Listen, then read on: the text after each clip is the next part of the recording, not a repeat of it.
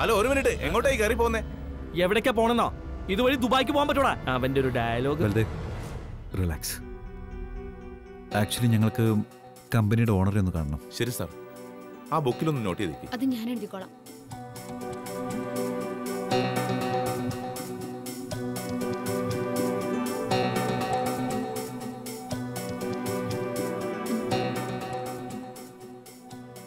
വീര ടെൻഷനൊന്നും അടിക്കണ്ട.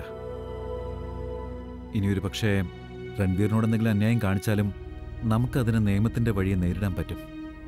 അതുകൊണ്ട് പേടിക്കേണ്ട കാര്യമില്ല. ഇനി അവർ നമ്മൾ പറഞ്ഞ വഴിക്ക് വന്നില്ലെങ്കിലുണ്ടല്ലോ. രൺവിക്ക് നീതി ലഭിക്കാൻ എന്റെ കയ്യിൽ വേറെ വഴികളുണ്ട്. അതെന്താണെന്ന് ഞാൻ അവർക്ക് കാണിച്ചു കൊടുത്തേക്കാം.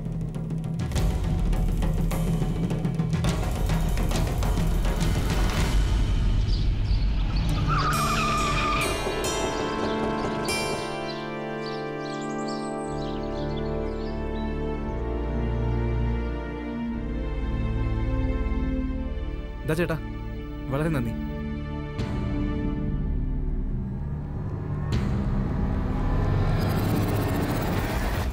സത്യത്തിൽ എനിക്കിപ്പോ ചിന്ത മുഴുവൻ ഏട്ടനെ കുറിച്ചാ. ഏട്ടൻ ജീവൻ കൊടുത്ത് പാടിയ പാട്ടുകളായിരുന്നു അതെല്ലാം. ആ പാട്ടുകളെല്ലാം ചേട്ടന്റെ ആത്മാവും ജീവനുമാണ്.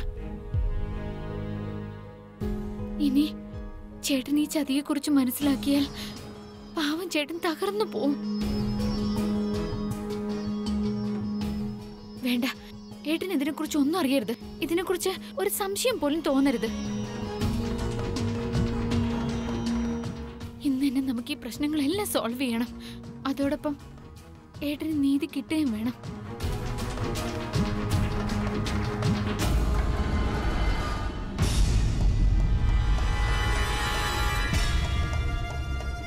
എക്സ്ക്യൂസ് മീ മാം സാറ് വരാൻ ഒരു അല്പനേരം കൂടി എടുക്കും. അതുവരെ നിങ്ങൾ ആ കോൺഫറൻസ് റൂമിൽ വെയിറ്റ് ചെയ്യൂ.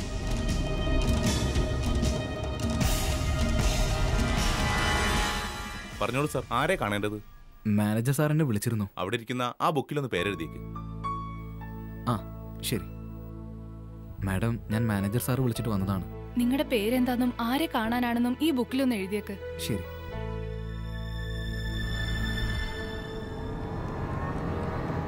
ഒരു സെക്കൻഡ് ഈ പേജിൽ സ്ഥലമില്ല. അടുത്ത പേജിൽ എഴുതിക്കോളൂ.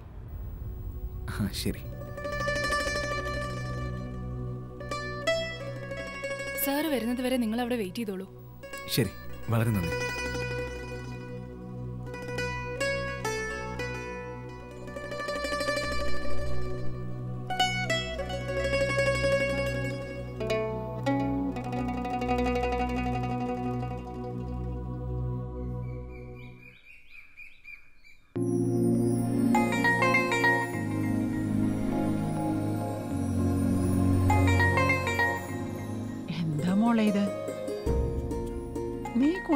ഫോട്ടോയും വെച്ചോണ്ട് എന്തോ എടുക്കുവാ ഇതോ ഇത് ഞാൻ രൺവിക്ക് വേണ്ടിയുള്ള സമ്മാനം ഉണ്ടാക്കുക അവൻ തിരിച്ചു വരുമ്പോഴുണ്ടല്ലോ ഞാൻ അവൻ ഇത് കൊടുക്കും. ഇത് കാണുമ്പോ അവൻ ഒത്തിരി സന്തോഷാവും.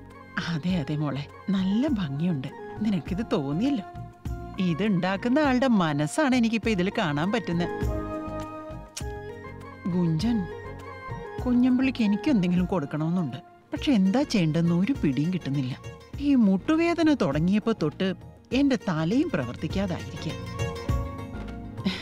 രത്ന പഞ്ചായത്തിൽ നിന്ന് വരട്ടെ. അവളോടും കൂടി ഒന്ന് ആലോചിക്കണം. അവൻ എന്തെങ്കിലും കൊടുക്കണം. അല്ലേ മോളെ?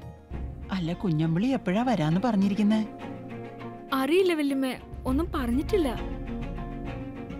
ഒരു കാര്യം ചെയ്താലോ? ഞാനൊന്ന് ഫോൺ ചെയ്ത് നോക്കട്ടെ. ശരി എന്നാ അങ്ങനെ ആവട്ടെ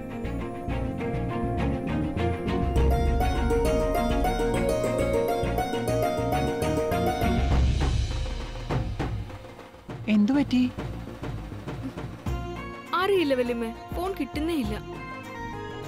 സാരമില്ല ആളിപ്പോ ബിജി ആയിരിക്കും. ആഘോഷങ്ങളൊക്കെ നടക്കുമായിരിക്കേ പ്രശംസ കൊണ്ട് മൂടിയിട്ടുണ്ടാവും. അതിനിടയ്ക്ക് ഫോൺ എടുക്കാൻ എവിടുന്ന് സമയം കിട്ടാനാ? ആ അതും ശരിയാ കേട്ടോ നമുക്കും പ്രശസ്ത ഗായകൻ രൺവിജയ് സിംഗിനെ കാത്തിരിക്കാം. അല്ലാതെ എന്ത് ചെയ്യാൻ?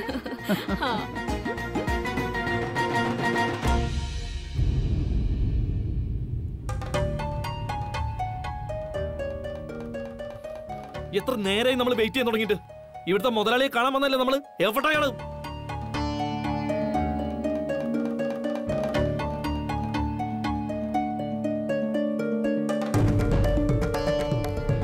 അതെ ചേട്ടാ ഇവിടുത്തെ പച്ചവെള്ളം കുടിക്കാൻ വേണ്ടി വന്നല്ലേ ഞങ്ങൾ?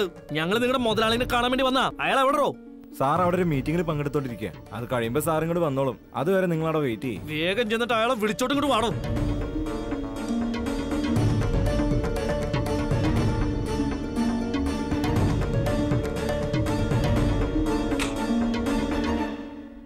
യെസ് വാട്ട് ഇസ് ഇറ്റ് വാട്ടും താറ്റൊക്കെ എന്താണെന്നുള്ളത് ഞാൻ നിനക്ക് പറഞ്ഞുതരാടാ. ഏ? പൊന്നെ പറട്ട ഈനാൻ വെച്ചി. കാട്ടും മൂട്ടിച്ചോക്കാലാടാ നീ ഇതൊക്കെ ഉണ്ടാക്കി വെച്ച് ഏ? ഇവിടെ ഇരുന്നുകൊണ്ട് ആൾക്കാരെ എങ്ങനെ പറ്റിക്കാന്ന് ചിന്തിച്ചോണ്ടിരിക്കുകയാണല്ലോടാ നീയൊക്കെ. വാട്ട് നോൺസെൻസ് ഈസ് ദിസ് ഞാൻ വീര. രൺവിജയ് സിംഗിന്റെ സഹോദരി. നിങ്ങൾ ലോഞ്ച് ചെയ്ത ആൽബത്തിലെ എല്ലാ പാട്ടുകളും പാടിയത് എന്റെ ഏട്ടനാണല്ലോ. പാട്ടിനൊക്കെ നിങ്ങൾ നിങ്ങളുടെ മോന്റെ പേര് നൽകി. നിങ്ങൾക്ക് എങ്ങനെ ചെയ്യാൻ കഴിഞ്ഞത്? ഇത് ആ ഗാനങ്ങൾ രൺവിയുടെ ഒരുപാട് നാളത്തെ അധ്വാനാണ്. ഇത് നിങ്ങൾ അവന്റെ കയ്യിൽ നിന്ന് തട്ടിപ്പറിക്കും പോലെയല്ലേ? Hello mister Ranveer. എന്തൊക്കെയുണ്ട് വിശേഷങ്ങൾ? നല്ല വിശേഷം സാർ. രൺവീർ ഇതാണ് നിങ്ങളുടെ ചെക്ക്. വാങ്ങിച്ചോളൂ. വളരെ വളരെ നന്ദിയുണ്ട് സാർ. ആ, മാനേജർ സാർ അത് എനിക്കൊരു അല്പം തിരക്കുണ്ട്. ഞാൻ കുറച്ചിട്ട് വരാം. അല്ല മാനേജർ സാർ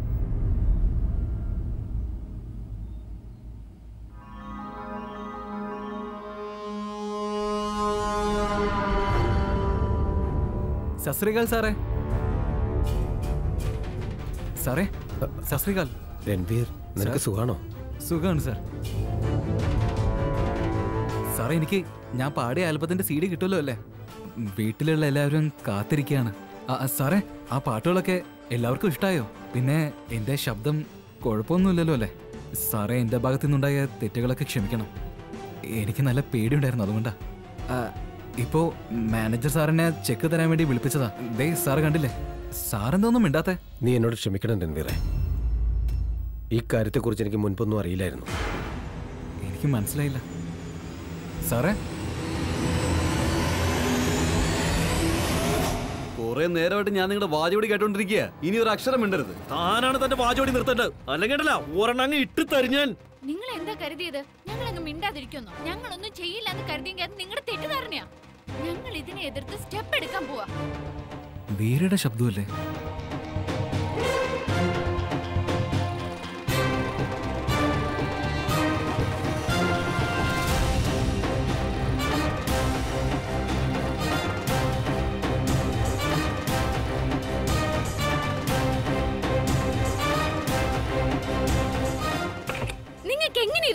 കഴിഞ്ഞു. എന്റെ രൺവീരയുടെ ഹൃദയം കൊണ്ട് ആത്മാവ് കൊണ്ടാണ് ഈ പാട്ടൊക്കെ പാടിയത്. എന്നിട്ട് നിങ്ങൾ ഏട്ടനോട് ഇത്രയും വലിയൊരു ചതി ചെയ്തില്ലേ? നിങ്ങൾ എന്റെ ഏട്ടന്റെ ശബ്ദവും ഏട്ടൻ എഴുതിയ പാട്ടുകളും എല്ലാം ഉപയോഗിച്ചു. എന്നിട്ട് അതിനൊക്കെ നിങ്ങളുടെ മോന്റെ പേര് നൽകി ആദരിച്ചു.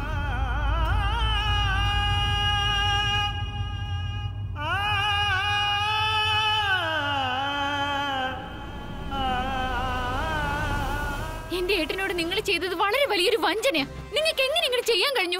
ഒരല്പം പോലും നാണം തോന്നില്ലേ? ഇനഫ് ഞങ്ങൾക്ക് ഞങ്ങളുടെ ചോദ്യങ്ങൾക്കുള്ള ഉത്തരം വേണം. പെട്ടെന്ന് തന്നെ. അതെ. ഞങ്ങളുടെ ചോദ്യങ്ങൾക്ക് ഉത്തരം കിട്ടാതെ ഞങ്ങൾ ഇവിടെ നിന്ന് എങ്ങോട്ട് പോവാൻ പോകുന്നില്ല. അതെ. പറഞ്ഞതൊക്കെ മതി. എന്റെ ഓഫീസിൽ കയറി വന്നിട്ട് എന്നെ ചോദ്യം ചെയ്യാൻ ധൈര്യം കാണിക്കുന്നു. എല്ലാത്തിനെയും വാചകടി ഇപ്പൊ നിർത്തിക്കണം. വാചകടിയോ? ചെയ്തത് നിങ്ങളാ. എന്റെ ഏട്ടനെ ചീറ്റ് ചെയ്തതും പോരാഞ്ഞിട്ട് ഞങ്ങൾ വാചകടിക്കുന്നെന്ന് പറയുന്നോ? കള്ളത്തരോ? എന്ത് കള്ളത്തരം ഏത് കള്ളത്തരം? ഞാൻ ആരെയും ചതിച്ചിട്ടില്ല. ചതിച്ചതിന് എന്ത് പ്രൂഫാണ് നിങ്ങളിലുള്ളത്? ഇത് കള്ളത്തരം അല്ലെങ്കിൽ പിന്നെന്താ? രൺവീറിന്റെ ശബ്ദത്തിൽ ഇറങ്ങിയ അവന്റെ ഗാനങ്ങൾ നിങ്ങൾ നിങ്ങളുടെ മകന്റെ പേരിൽ ഇറക്കി വിൽക്കുന്നു. കോപ്പിറൈറ്റ് ലോയുടെ ക്ലിയർ വയലേഷൻ ആണ് ശരിയാ. നിങ്ങളൊരു ബിസിനസ്സുകാരനല്ലേ? അപ്പൊ ഈ നിയമങ്ങളെ കുറിച്ച് ഞാൻ നിങ്ങളെ പഠിപ്പിക്കേണ്ട കാര്യമില്ലല്ലോ. ഹലോ നീ എന്നെ നിയമമൊന്നും പഠിപ്പിക്കാൻ വരണ്ട. നിന്നെക്കാളും കൂടുതൽ നിയമങ്ങൾ എനിക്കറിയാം. ഞാൻ ആൽബം റിലീസ് ചെയ്യുന്നത് ആദ്യമായിട്ടൊന്നുമല്ല പിന്നെ ഗാനങ്ങൾ മേടിക്കുന്നതും വിൽക്കുന്നതും. അക്കാര്യം ഞാൻ നിങ്ങൾക്ക് ക്ലിയർ ആയിട്ട് പറഞ്ഞുതരാം. നിങ്ങളുടെ പ്രിയപ്പെട്ട രൺവീറെ അവന്റെ ശബ്ദവും ഗാനങ്ങളും ഞങ്ങൾക്ക് മുൻപേ വിറ്റ് കഴിഞ്ഞതാ.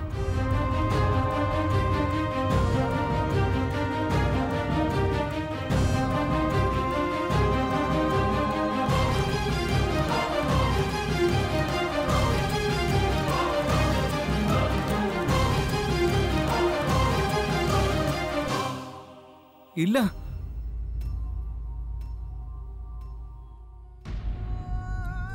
രൺവീരേട്ടാ. ഞാനൊന്നും വിറ്റിട്ടില്ല ഞാൻ ഞാനൊന്നും വിറ്റിട്ടില്ല വീര. നിങ്ങൾ നിങ്ങൾ എന്തൊക്കെ കള്ളങ്ങളായി വിളിച്ച് പറഞ്ഞ ഞാൻ ആർക്കും എന്റെ പാട്ടുകൾ വിറ്റിട്ടില്ല പാട്ടെന്ന് പറഞ്ഞ എനിക്ക് ജീവനെ പോലെയാണ്. വീര ആരെങ്കിലും ആരെങ്കിലും അവരുടെ സ്വന്തം ജീവൻ വിൽക്കാൻ തയ്യാറാവോ? നിങ്ങൾ നിങ്ങൾ എന്തിനാ ഇങ്ങനെയൊക്കെ കള്ളം പറയുന്നത് ഞാൻ എപ്പോഴാ എന്റെ പാട്ടുകൾ നിങ്ങൾക്ക് വിറ്റത്. അതൊക്കെ നിങ്ങളുടെ അടുത്ത് തന്നെയുണ്ട്. നിങ്ങൾ എനിക്ക് പാട്ടുകൾ തന്നു പകരം ഞാൻ കാശും തന്നു. അതോടൊപ്പം നിങ്ങളുടെ സ്വരവും വിറ്റും ഞങ്ങൾ അതിനുള്ള വിലയും തന്നു എല്ലാം ക്ലിയർ ആയി. യു ആർ വെരി ലക്കി ഈ പാട്ടുകൾക്കൊക്കെ നിനക്ക് കാശ് കിട്ടിയല്ലോ. വെറുതെ തെണ്ടി തിരിഞ്ഞ് നടന്നമാരെയൊക്കെ പിടിച്ച് ഈ സ്റ്റുഡിയോ കൊണ്ടുവന്ന് പാട്ട് പാടിച്ച് എന്നെ വേണം പറയാൻ. ഇനി ഒരു അക്ഷരം പോലും മിണ്ടരുത്. നാക്ക് വളയ്ക്കുന്നതിന് മുമ്പ് ഒന്ന് ശ്രദ്ധിക്കണം. എന്റെ ഏട്ടനോട് ഇങ്ങനെയൊക്കെ സംസാരിക്കാൻ നിങ്ങൾക്ക് ആരാ അധികാരം തന്നത്? പറയണം സർ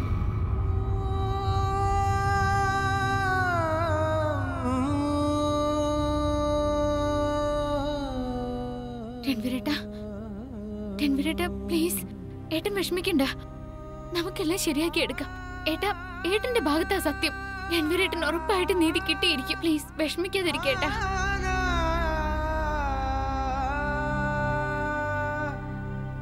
ആ കോൺട്രാക്ടിന്റെ കോപ്പി താ എനിക്കിപ്പോ കാണണം. ഇപ്പൊ തന്നെ. ഷുവർ വൈ നോട്ട് രൺവീറിന്റെ കോൺട്രാക്ടിന്റെ കോപ്പി എടുത്തിട്ട് വന്നേ എനിക്കത് ഇപ്പൊ തന്നെ കിട്ടണം.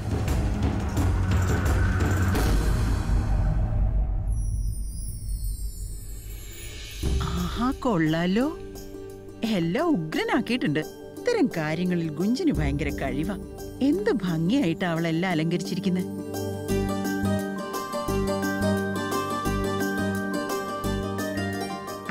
നീ എത്തിയോ? ഇതെന്താ? പുതിയ റേഡിയോയോ? അതെ വല്യമ്മേ.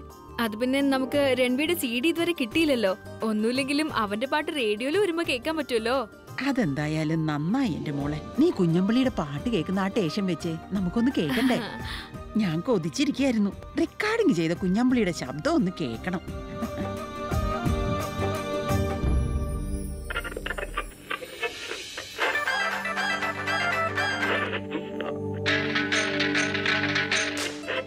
നമ്മുടെ ചെക്കന്റെ പാട്ട് വരുന്ന ആ ടേഷൻ മാത്രം വെക്കേ. ഇതെന്തിനാ ഇപ്പൊ നീ എല്ലാം തിരിക്കുന്നേ? ദിവസം മുഴുവൻ രൺവിയുടെ പാട്ടുകൾ മാത്രം ഇതിനകത്ത് കേൾപ്പിക്കോ. നമുക്കൊരു കാര്യം ചെയ്യാം. നമുക്കിത് എപ്പോഴും വെച്ചോണ്ടിരിക്കാം. എപ്പോഴെങ്കിലും ഒക്കെ പാട്ട് വരുമല്ലോ. അതും ശരിയാ മോളെ. അപ്പൊ ഇവിടെ വെച്ചേക്കാം. പിന്നെ വല്യമ്മ രൺവി ഇപ്പൊ വരുന്നുണ്ടാവും. ഇനി ഒത്തിരി കാര്യങ്ങൾ ചെയ്യാൻ ബാക്കി അടക്കുക അവന് ഇഷ്ടമുള്ള മധുരപലഹാരങ്ങൾ ഉണ്ടാക്കണ്ടേ നമുക്ക്? ഞാനിന്ന് അതൊക്കെ നോക്കട്ടെ. ഉം,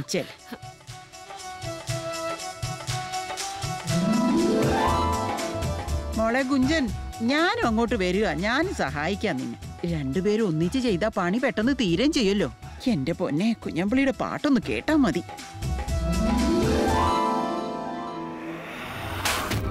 ഇത് വായിച്ചു നോക്ക്.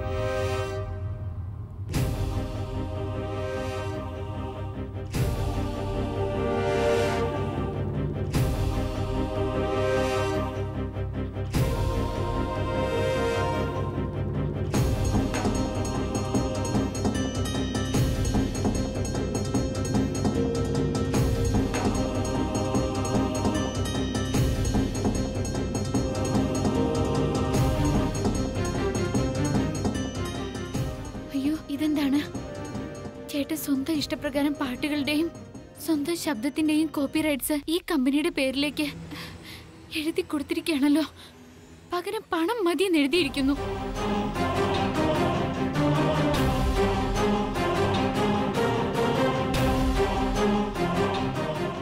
ഏട്ടൻ ഒരു ഇങ്ങനെ ചെയ്യില്ലെന്ന് ഒരു മിനിറ്റ് ഒരു മിനിറ്റ്. മിസ്റ്റർ റെക്കോർഡിങ്ങിന് മുമ്പ് ഈ കോൺട്രാക്ട് കുറഞ്ഞത് രണ്ട് തവണയെങ്കിലും വായിച്ചിരിക്കണമെന്ന് ഞാൻ നിങ്ങളോട് പറഞ്ഞിരുന്നതല്ലേ? എന്നിട്ട് നിങ്ങൾ അങ്ങനെ ചെയ്തോ? ഇല്ലല്ലോ? ഇത് വേറൊരു തരത്തിലുള്ള ചീറ്റിംഗ് കാരണം എന്റെ ഏട്ടൻ ഒരിക്കലും ആ കോൺട്രാക്ട് വായിച്ചിട്ടില്ലെന്ന് നിങ്ങൾക്ക് അറിയാം എന്നിട്ട് ആ കോൺട്രാക്ട് നിങ്ങൾ സൈൻ ചെയ്യിച്ചില്ലേ? പക്ഷെ ഞാനുണ്ടായിരുന്നെങ്കിൽ ഒരിക്കലും ഏട്ടനെ കൊണ്ട് ഇങ്ങനെ ഒരു തെറ്റിയിരിക്കാൻ ഞാൻ അനുവദിക്കില്ലായിരുന്നു. ആ സമയത്താണല്ലോ ഞാൻ പോളണ്ടിലേക്ക് പോയത്. നിങ്ങൾ എല്ലാവരും കൂടി ഏട്ടനെ ചതിച്ച് ഏട്ടന്റെ കഴിവും പാട്ടുകളെല്ലാം എഴുതി മേടിച്ചു. എക്സ്ക്യൂസ് മീ മാഡം ഇവിടെ ഗാനങ്ങൾ തയ്യാറാക്കുക എന്നത് മാത്രമാണ് ഞങ്ങളുടെ ജോലി. നിങ്ങളുടെ പ്രിയപ്പെട്ട ചേട്ടനെ കോൺട്രാക്ട് വായിച്ച് കേൾപ്പിക്കലല്ല. പാട്ട് പാടി നടന്ന സമയത്ത് പള്ളിക്കൂടത്തിൽ പോയി കുറച്ച് വായിക്കാൻ എഴുതാനും പഠിച്ചിരുന്നെങ്കിലേ ഇന്നിങ്ങനെ നാണം കിട്ടി നിൽക്കേണ്ട അവസ്ഥ വരില്ലായിരുന്നു.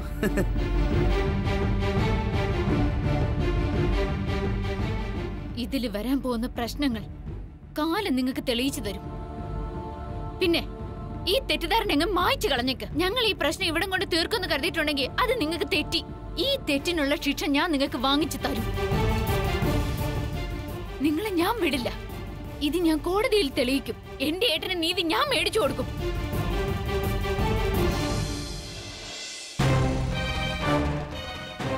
ഞങ്ങൾക്ക് നിങ്ങളുടെ ഈ അന്യായം കൊണ്ട് നേടിയെടുത്ത ഈ പണത്തിന്റെ ആവശ്യമില്ല.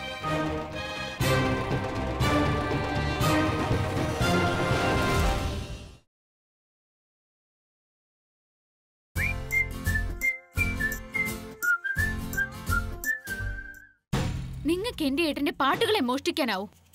പക്ഷെ എന്റെ ഏട്ടന്റെ കഴിവുകൾ പിടിച്ചെടുക്കാൻ നിങ്ങൾക്ക് ആർക്കും ആവില്ല. നിങ്ങൾക്ക് അത് മനസ്സിലാവും. ഗെറ്റ് ഔട്ട് ഫ്രം ഹിയർ ഓ താൻ ആരോടാ ഈ ഗെറ്റ് ഔട്ട് പറയണേ? തന്നെ ഞാൻ മാറി നിൽക്കണോ? അല്ലെങ്കിൽ തനിക്കും കിട്ടും. താൻ എന്ത് കുന്താണോ രണ്ടിനെ കുറിച്ച് മനസ്സിലാക്കിയിരിക്കുന്നത് രമ്യയെ കൊണ്ട് എന്ത് എഴുതിക്കാന്നാണ് വിചാരിച്ചിരിക്കുന്നത് നീ എഴുതിയതല്ലേ ഞങ്ങൾ സമ്മതിക്കണോ അല്ലേ? വിടാനെ വിടാൻ. കൊല്ലും ഞാൻ എല്ലാറ്റിനും. ബൽദേവ് ഇനി പറഞ്ഞിട്ട് കാര്യമൊന്നുമില്ല. മാറിക്കണം രൺവീർ വീര. നമുക്ക് പോവാം. ബൽദേവ് വാ പോകാം. രൺവീർ പോകാം.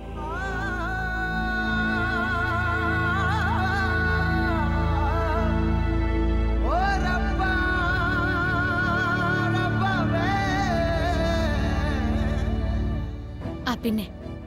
ഒരു കാര്യം കൂടി പറയാം. ബിസിനസിന്റെ കൂട്ടത്തിൽ നിങ്ങളൊരല്പം പാട്ട് കൂടി പഠിച്ചിരുന്നെങ്കിൽ മറ്റൊരുവന്റെ പാട്ട് മോഷ്ടിക്കേണ്ട അവസ്ഥ വരില്ലായിരുന്നു.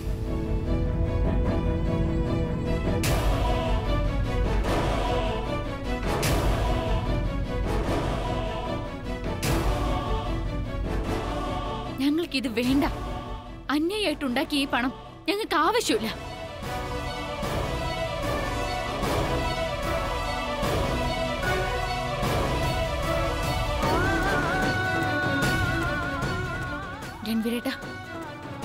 ഏട്ടൻ വന്ന് നമുക്ക് പോവാം.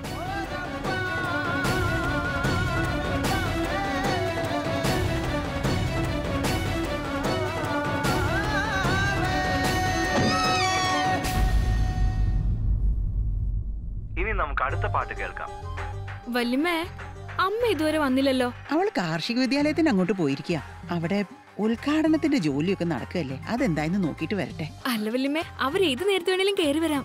അതിനെന്താ വരട്ടെ മോളെ. നീ എല്ലാം ശരിയാക്കിയില്ലേ അതിരിക്കട്ടെ. ഇന്നെന്താ നല്ല സുന്ദരിയായിരിക്കുന്നല്ലോ. ആണോ വല്യമ്മേ? ഇങ്ങ എത്തിയല്ലോ.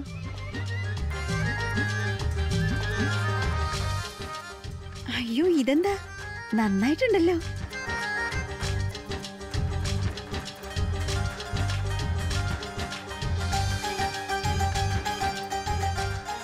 നേരത്തിങ്ങ് വരാൻ തോന്നിയത് നന്നായി.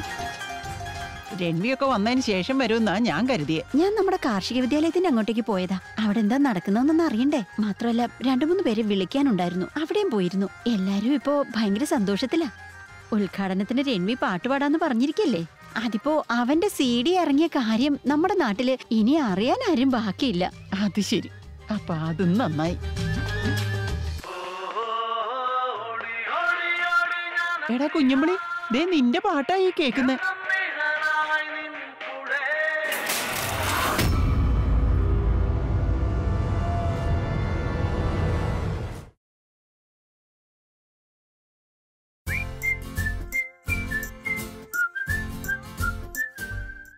ഇനി നമുക്ക് ഏറ്റവും പുതിയൊരു അടിപൊളി പാട്ട് കേൾക്കാം. നീർമിഴി അമ്മേ വെല്ലുമേ അത് കേട്ടു രൺവീട് പാട്ടാ. பாடு என்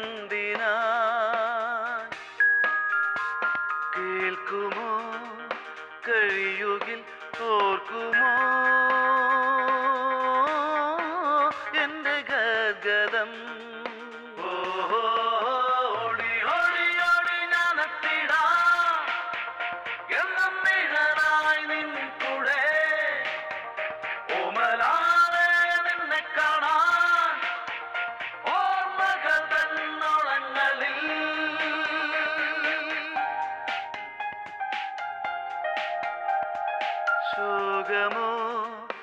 രാഗമായോമലേ എടാ കുഞ്ഞമ്പിളി ദേ നിന്റെ പാട്ടായി കേൾക്കുന്നത്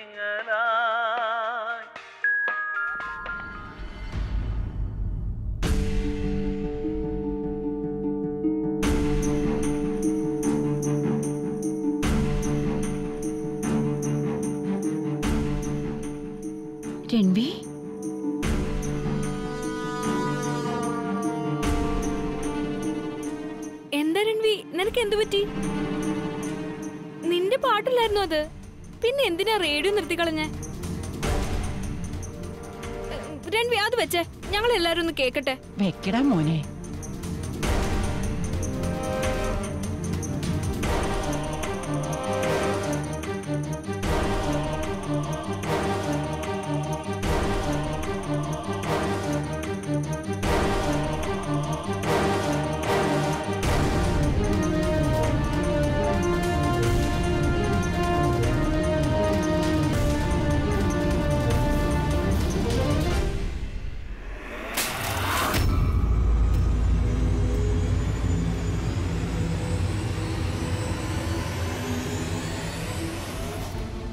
രൺവി?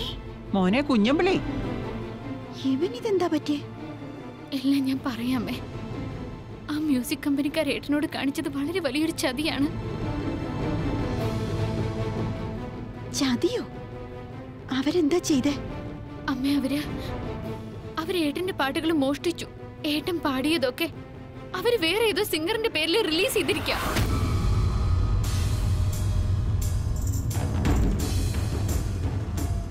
ഞങ്ങളെ റെക്കോർഡിംഗ് സ്റ്റുഡിയോ എന്നാ വരുന്നത് അമ്മേ എന്റെ രൺവീരേട്ടൻ ഈ ചതിയെ കുറിച്ച് അറിഞ്ഞപ്പോ മുതൽ ആകെ തകർന്നിരിക്കുക അയ്യോ എന്റെ റബ്ബേ.